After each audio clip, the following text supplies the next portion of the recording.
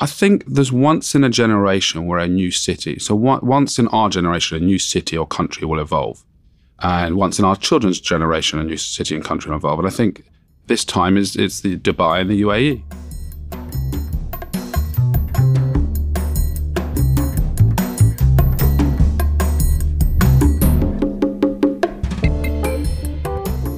I'm David Merritt. And I'm Francine Lacqua. And this is In the City, Bloomberg's podcast connecting you to the conversations at the heart of the City of London. Now, this week, property entrepreneur Nick Candy joins us. Yes, of course, along with his brother, Nick built One Hyde Park in 2010. That was the development that transformed London's luxury housing market and continues to test price records for UK apartments today. Nick, welcome to the podcast. Bring us back to that first loan, was it 6000 from your grandmother and what you did with it? Yeah, it was in 1995. Uh, my brother was at King's College London. Uh, and the first year you lived in a halls of residence, and the second year and third year you had to move out and get your own flat. And so I said to my father, rather than just paying rent to somebody else, why don't you pay rent to me for Christian to live in like with me? That's brotherly love. Uh, so I said, um, you know, grandma's going to lend us some money. He goes, well, how are you going to get the mortgage? And those were the days where you could get a 95% mortgage and we got a 95% mortgage from the Bank of Wales at the time. And, um, you know, we paid, the flat was 122,000 pounds. It was in Redcliffe Square. It was a fourth floor walk up. You open the front door and then literally there was another two flights of staircases. You needed oxygen by the time you actually got into the hallway, which was where the kitchen was. So, and Christian and I uh, did the flat up ourselves. We painted it. We got some new carpet. We put a new kitchen in. But this was at the bottom of the range stuff. This is we went to Carpetright. We went to um, I think it was Magnet Kitchens. And you know, we did it up ourselves. We lived there. Christian was a student at King's College. I was uh, my first year at KPMG. And uh, you know, 18 months later, we ca- somebody came on and said, "Oh, I want to buy this for 172,000 pounds." And so we decided to sell it, and we bought the next flat for 236,000 pounds in uh, Rowland Gardens, um, and we, we, sold that um, about six months later for 345,000 pounds and so the journey began. It was by it was by accident. It was never done on purpose. We never thought we were going to be property developers, and we had a great journey. And it was a time when the London property market was absolutely rising. You know, it was just a time and a moment. Obviously, today that mo- that you know London's not doing as well on a global stage as it should be. I still think it's the greatest city on earth, but I don't think it's where it should be as uh, either the city or the country. It's a bit of a shame. You mentioned timing for this it's a hard trick to pull off now, isn't it? With the sort of prices we've got across couple, and also the the ninety five percent mortgages, you can't get those anymore, can you? Yeah, I mean, there's two things. Obviously, that was thirty years ago, so prices would normally you'd expect them to rise in a major capital city over thirty years. Uh, so yes, prices are very different today, but. It, the biggest problem in the country, not just London, for anyone trying to get on the housing ladder today, is not supply of property; it's affordability. And what we didn't do here, we should have done, why we had the uh, had the chance, is we should have put 30-year mortgages in place when interest rates were low. Okay, because America has that. You go to buy a home in America, you have a 30-year mortgage. Here in the UK, I think the maximum really mortgage length is about 10 years. And so it's the affordability of uh, mortgages that's the problem, not the actual housing supply. Right, but it's also the, the price of of houses. So you can have a 30-year mortgage, but if it costs 2 million pounds, or 600,000 pounds and you don't have that capital, you know, that 25% to start off with and you're in trouble. Yeah. And that, that that's the problem today. The, you know, the, the, young people coming out of university and stuff to get a mortgage deposit together is not 5% anymore. Where I was, it's 25%. And that's if you're lucky. And so it's a real challenge. And obviously in the last 12 months, interest rates have shot up because of inflation. And we'll need them to go back down. Otherwise, we'll have a huge problem going forward those very high, you know, much higher interest rates we've got now, what's it doing to the market across the whole spectrum? People are struggling at the bottom end. Is it having any effect at the top, at the super luxury end of the market?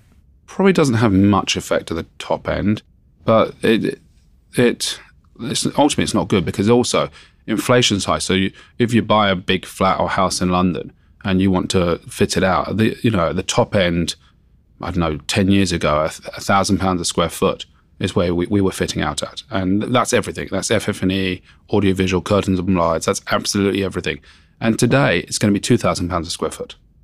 And th- those numbers people think I'm crazy on, but that's what it costs. Nick, when did you and your brother decide to go to the ultra luxury property market and why? it was really by accident. We just kept on going up the ladder of the property ladder, and we ended up, you know, looking at flats and houses which were more, more expensive. And so it wasn't something that we went out. Oh, listen, we want to aim at the uber rich. That it, we, we, it was never started like that, and it was opportunistic. It wasn't strategic. The story around One Hyde Park. Can you tell us a little bit more about how you decided that was a project to put your name to? I mean, it was a real landmark uh, development, still is, of course, and you know was covered. You know, was made you famous in the news as as as developers. Talk us through the story of getting that project off the ground. Something so ambitious as that. Well, the, the, site itself was always a challenging site because it was a 1970s office building called Bowater House, and no one really wanted to touch it uh, because it was, you know, a really old office building. But what most people didn't know is there was a restrictive covenant in place between the Mandarin Oriental and Bowater House. So you couldn't even change a window in Bowater House without the permission of Mandarin Oriental because they're side by side. Yeah, they're side, but they and they're side, but they, but they didn't connect, and so most like, until you got into the legals of this, you, no one would have understood. And so most people would never have touched it because they go, well, they can hold you to ransom. Okay. And so my brother with um, the, his Qatari partner, um, so I, I, said I thought we could sort it, and uh, but you know, it was a risk, and you know we knew that the the Keswicks that own the Mandarin Oriental, the Jardine Matheson family or group conglomerate, and I said they've got a lot of things missing from their hotel that they'd like. They'd like to have car parking spaces. They would like to have uh, a proper spa underground. They'd like to have an indoor swimming pool. They've got a lot of good things for the hotel already, but they, we can deliver all of this. Um, and so, as I said, it will be a negotiation. So Christian and the, the, his Qatari partner said, "Let's let's have a look at it then." And so, and the idea was also to deliver things that were never delivered before in central London: ten thousand square foot floor plates on one level. And everyone said, "You know, you're you're mental." and uh, because these are so big. And still, the record, uh, you know, 85 apartments sold in One Hyde Park for circa 2 billion sterling. No one in the world has done that still today. Okay, but I, I think what I'm planning in Dubai next will be able to break some of those records. Why Dubai? I just think Dubai is one of the new capitals of the world. I genuinely think that you're seeing a flow of money there like you've never seen before. It was like London when we were building One Hyde Park. The flow of capital to Dubai has changed, and the idea that you might not go and live in Dubai or whatever. People are going, well, I'm fed up with the crime in these countries I live in. It's not just London, it's other countries around Europe and the West. And, you know, some of the values that we once cherished in the Western countries are not the same values that we've got today. And actually, you know, who would have thought that the value system sometimes is better in the Middle East than it is here?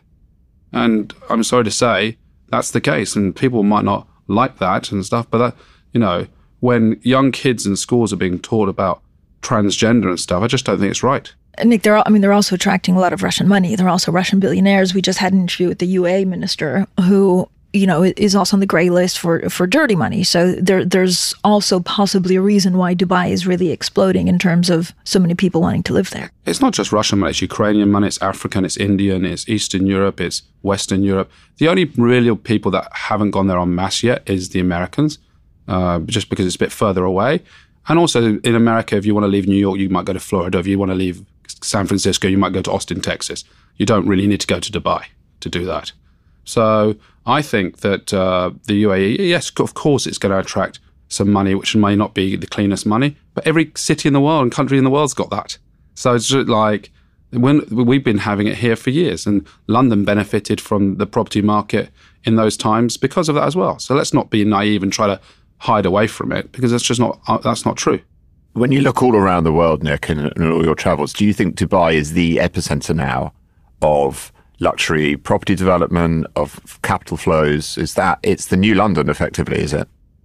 I think there's once in a generation where a new city, so once in our generation, a new city or country will evolve. And once in our children's generation, a new city and country will evolve. And I think this time is it's the Dubai and the UAE. I think they've got an incredible lifestyle, incredible, uh, you know, for a family, the education system there, healthcare is all improved dramatically after the, over, over the last decade, and their infrastructure is amazing. There's been a lot of controversy in the region, of course, in terms of working conditions. We heard about this in Qatar, obviously. with the infrastructure there. Is that anything you're worried about? I mean, you're talking about the finish and the how to get these things actually made, where the work is coming from, what are the conditions that they're working in. Um, the UAE doesn't have quite the same standards, perhaps, as as Britain or, or the US on this, doesn't it? I think they were slightly behind on some of the standards, uh, but I think they're they're fully aware of it at the top level, uh, the royal family level, and I think they they know and they're already making huge efforts to improve it. Genuinely, I mean, obviously it has been an issue, uh, but I won't work with anyone that uh, or do anything that puts these people at risk. First of all, uh, while they're on site, but also when they're off site, you're seeing their standards of living change enormously. It's not what it was in the past. So, Nick, what would be the Candy brothers' role in this? You basically f- fit out the apartments and then you sell them. So it's just me. It's not my brother. So I'm doing this on my own, um, and um, we're we're still working that out. But uh, Candy's the Candy name will be involved in it in some shape or form. Would you accept Bitcoin as payment? I know you said that in the past. I did say that in the past. Um, would I accept Bitcoin as payment? Good question. Maybe Bitcoin. I'm not sure all other coins, but uh, maybe Bitcoin. Uh, I think obviously since uh, that's happened, we've uh, since I said that I'd sell one, um, my Penthouse on One Hyde Park for potentially crypto. Uh, there's a lot of stuff has changed and moved on. So potentially Bitcoin, but uh, probably not any other coin. Can I just ask you about the overall vibes in London in the market? Because I think we've had a lot of turmoil in recent years. Um, we had the Truss disastrous budget. We've had Brexit that's been really disruptive. We've got interest rates going high. How how does London feel as an as an investment destination now? I mean, yes, a lot is flowing to Dubai, but is London still a good place to invest and buy property and set up businesses? So London, I was born in London. So I was born in Wimbledon. I grew up in um, Surrey. I love London. I think London's the greatest city on earth. However, London has changed, and uh, the calling card, which was so good about London maybe a decade ago or even 20 years ago, I think has changed. And I think that's down to, you know, a number of things. Where if you're sending, if you're from China and you want to send your kids to university here or be educated here, and you're reading about the crime on our streets and knife crime, it really, would I send my daughter to a place like that? It's what, it's what you're reading and the media coverage of it. And so, first of all, I think crime affects everyone. Uh, and I just think we haven't managed to get a handle on that. I think, you know, if you're carrying a knife in London, there should be no reason for carrying a knife. Yeah, anyone that's carrying a knife needs to go straight to jail. Pretty drastic. Yeah, no, no joke. But why, why do we need to carry a knife? What, what reason would you and I need to carry a knife in London? If you're caught with a knife on the street, why do you need to carry it? You're going home to like chop the bread with your mum, are you? I mean, it's ridiculous. So we, we unless we have some drastic measures to some of this, it's going to get worse. Okay, and so crime uh, is terrible in London. Transport has been, you know, we've become one of the most congested cities in the world. It's taken me an hour to get here today in a car from Chelsea uh, to the Bloomberg offices. It's just, it's just not right. It's not how London used to be. And so we, we've got to solve some of the big problems. And if we can solve some of the big problems, then we've got a really good chance because people want to come and shop, spend as tourists, be educated, live in London. It's a great city. It's one of the greatest cities in the world. Uh, but it has changed. And so I still think London is a brilliant city. Uh, I think it's a great place to invest. If, if you're a foreigner today, which is dollar denominated, then it's one of the greatest times ever to buy real estate in London. Okay, now there's different types of real estate. Would I be buying uh, retail on Oxford Street, which was probably amazing at the time? It's changed completely, and you know half the shops are boarded up, which is not very good for one of the greatest cities, uh, main streets. But that's what, where it is. You know, obviously commercial with working from home has been challenging as well.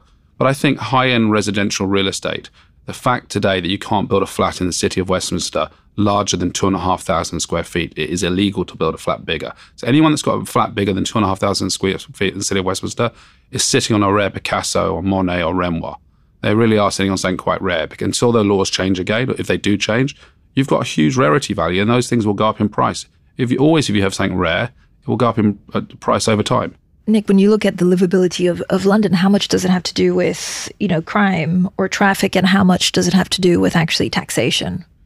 So of course taxation is a big part, but you know that's that's controlled by central government, and you know we, are going to see hopefully taxes reduced before the next general election because otherwise I think um, you know the war struggle. So I think taxes can't continue to go up. People, rich people specifically today uh, have choices so they can get on a plane and go somewhere else. And you've seen that people leaving New York and going to Florida. You've seen people leaving San Francisco and Los Angeles and going to uh, Austin, Texas. You're seeing people in the in the UK and other foreign countries around Europe all going to UAE, countries where I'd never think about where they would leave. My friends from Zurich, my friends from Vienna and Austria, leaving these places. These are the most conservative cities on the planet, and going to Dubai.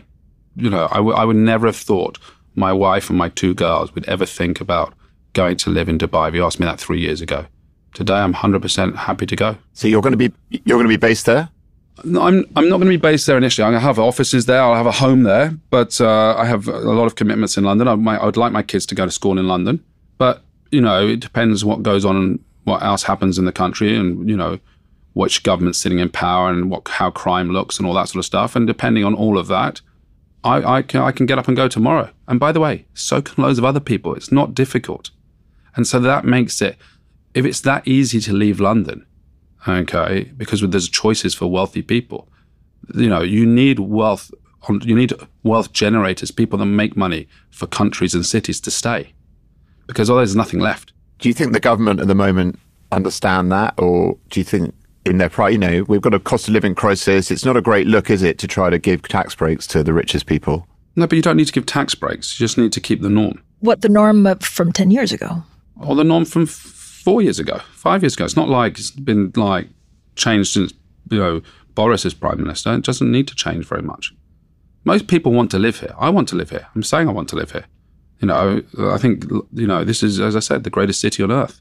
I think it's better than. Sorry, uh, David. I think you're based in New York, but I, I think it's much better than you. so I, I, think it's much better than New York. Like t- ten times better. I have a home in Los Angeles. I would like to sell my home in Los Angeles. Los Angeles is not the city I remember.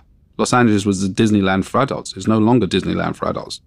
And we speak a lot to, you know, the banking industry, but also the tech industry. So they were all here, King's Cross, and then a lot of them are moving out. We saw that with, for example, Meta.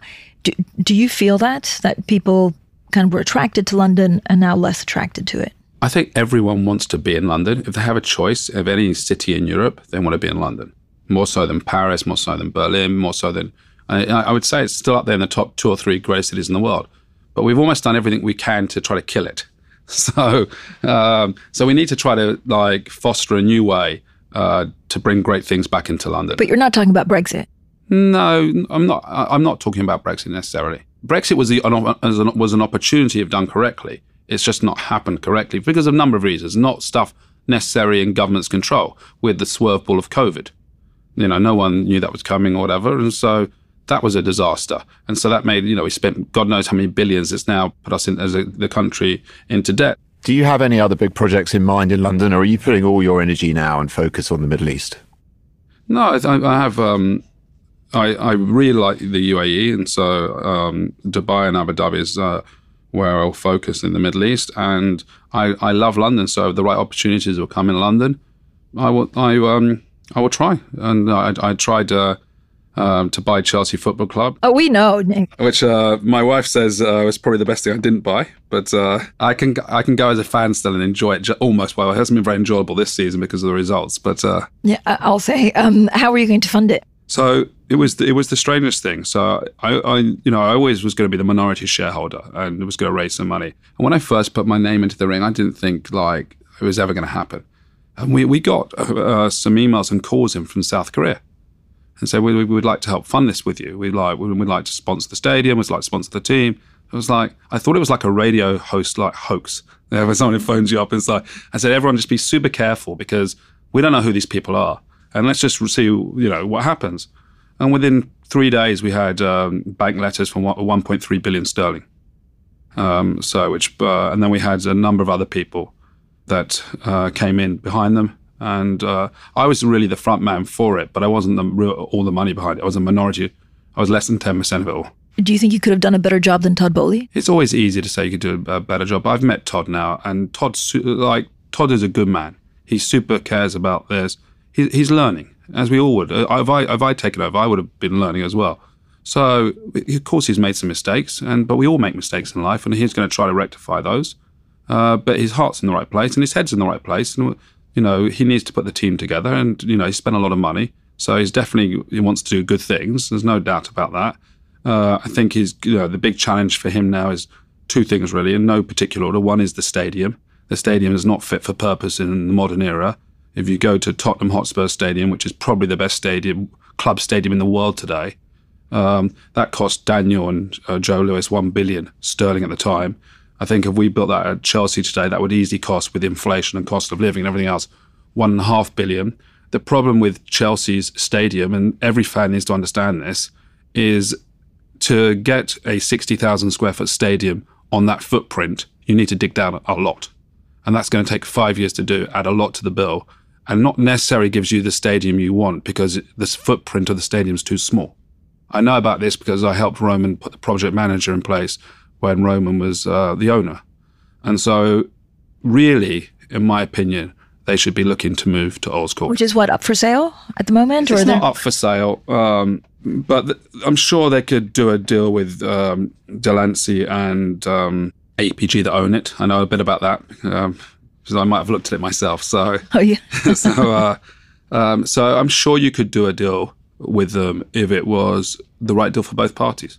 But if if it's right for the club and for the fans and for everyone else, all, the stakeholders involved, I think first of all you can play at Stamford Bridge for the next three four years with a new stadium's getting built. Be much quicker to build a new stadium on a blank piece of site.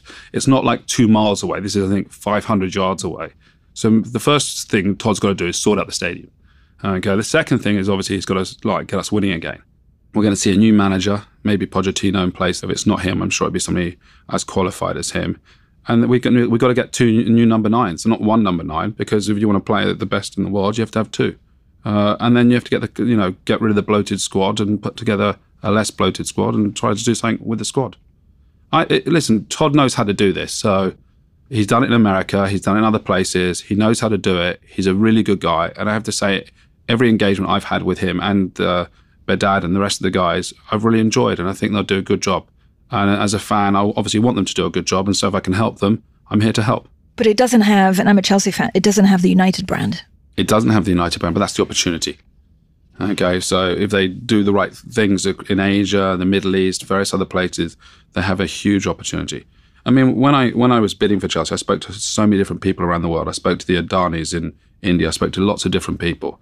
You know, cricket is a, a religion in, in India. It's not a sport; it's a religion. And you know, I thought if I could bring a, a club like Chelsea to India with 1.3, 1.4 population, billion population. They thought they thought it could be quite interesting. So the opportunity with Chelsea is um, enormous. Also, you, people don't realise that almost all the top CEOs in central London that work for some of the biggest companies in the world all support Chelsea. So they all would like to sponsor, be involved. If the corporate hospitality is done right, etc., etc. So there's a huge opportunity, and I think he can get his money back from it. He can make a good return, but it's not a short-term investment like you buy this for five years and you can get a return. Even without the Super League, do you think the Super League would be back? I don't think so. I think and I'm not sure it would be right either. However, watching Champions League football, if you were there last week uh, versus Real Madrid or at Dortmund a few weeks before that, I mean, the atmosphere on a Tuesday or Wednesday night watching Champions League football in the cold British winter weather, it's not that cold in London compared to some other parts of England. It, there's nothing like it. Uh, The, the atmosphere is just unbelievable. It'd be very sad next year that we're not playing Champions League football, but hopefully we'll be back the year after. Who do you think will buy Man United? Is it Middle East money? I reckon it will be either somebody you haven't heard of yet from Saudi, uh, or I think it will be Qatar and Sheikh Jassim. And I know Sheikh Jassim very well. He's a very good man, very sensible man. Uh, I think the Glazers are playing silly buggers. I think the Glazers are pretending they want this minority investment from a Carlyle or a uh, um, Elliott's. Yes, let me tell you, if they get an uh, investment from those sort of people, the, it's not going to help the club. Uh, Who have we not heard about in Saudi? Can't say. All right, Nick, thank you so much.